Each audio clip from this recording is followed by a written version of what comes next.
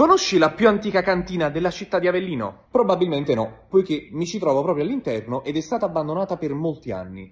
Queste infatti sono le cantine Ama del 1878 di Angelo Mastro Berardino. È una struttura dalle dimensioni colossali e proprio qui si producevano alcuni dei vini più importanti di tutta l'Irpinia. E adesso, dopo anni di abbandono, questa struttura è stata recuperata dal evento La Repubblica delle Bolle, che sarà una serie di attività dal 21 al 25 aprile 2023 proprio per ridare vita e riscoprire il piacere del vino nella città del vino. L'accesso è completamente gratuito e si può acquistare un kit degustazione per provare tutte le bollicine migliori d'Italia e non solo, poiché proprio qui in questo piazzale dove sto camminando adesso ci sono invece i concerti a lume di candela di notte, sempre ad accesso libero.